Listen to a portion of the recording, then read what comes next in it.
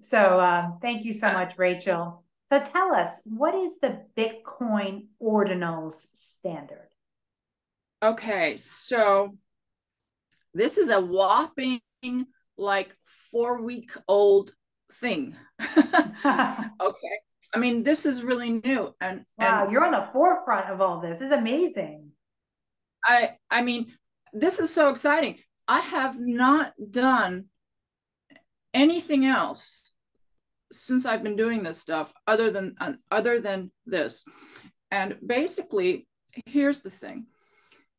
The Bitcoin ordinals are essentially essentially uh you know to put it in just you know basic terms nfts on bitcoin which we never really had before not in this way um, we had them on ethereum we had them on you know other chains solana. Um, we had uh, smart contracts. But what this is is um, the ordinals and the reason they're called ordinals and not nfts they're, they're actually technically they're digital artifacts right? Why?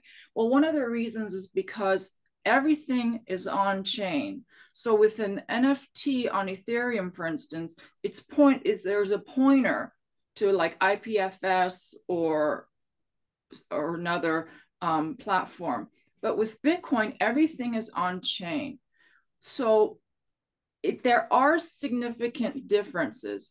Now, why is that exciting? Why is it exciting to have NFTs on Bitcoin? Well, first of all, it's Bitcoin.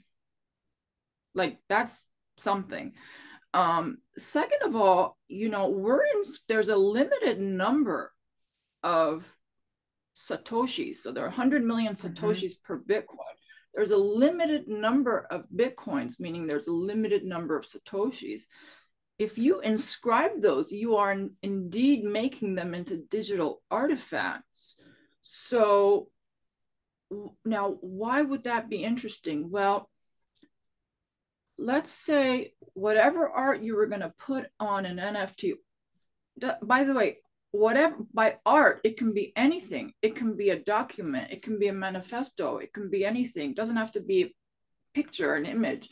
But whatever content you were going to put on that Ethereum um, NFT, um, you can put it on Bitcoin. And here's the thing in a billion years from now, if the earth is still going, right?